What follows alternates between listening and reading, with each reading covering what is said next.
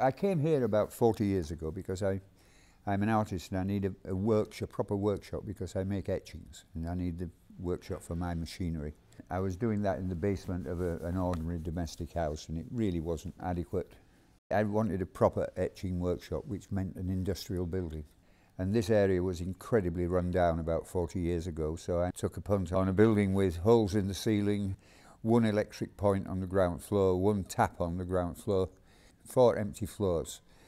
It was a blank canvas, really. The ground floor really is, is a printing factory. It's a printing workshop, and uh, that's where I etch all the plates and pr print all the plates, edition all the plates.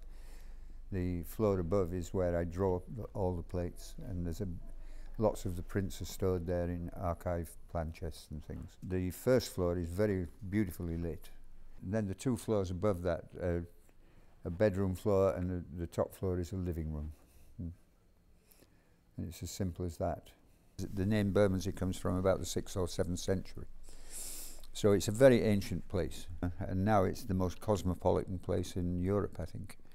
When I came here, the, the, the, there was no shard, and the, the skyscrapers in the city were a fra fraction of what they are now. I've, I've watched it grow over the years.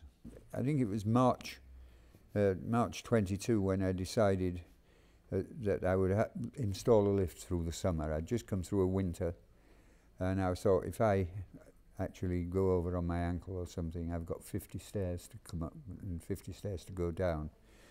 And I should anticipate because there is no way that I want to leave this place because everything is here that keeps me sane, all my working gear and everything. I couldn't, I couldn't move from here.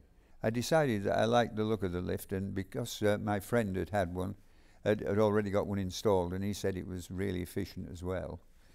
Uh, I thought, well, and he's a, a, a, very prominent architect as well, so he's, and uh, we had the same builders to make the aperture for it as well. I got the brochure and I got the measurements of the different sizes that you have and, uh, and, and found that this size and could go over four floors and it was perfect for here.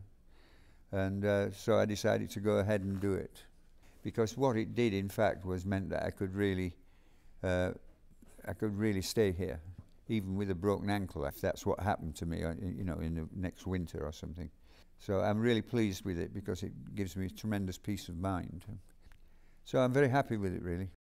When I got it, it then became apparent that it could be used for not just taking me up and down or, or guests up and down, but also I found out that it was wonderful for moving pictures floor to floor.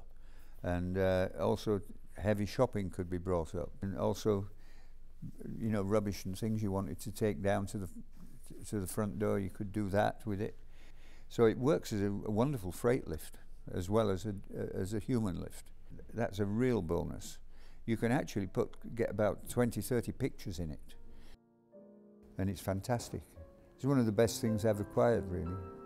The side of the lift is, is metal and takes a magnet, so I can use it as a pin board to pin up things that I'm working on. While I'm playing the piano, I can a, actually look at what I'm working on. It's quite nice.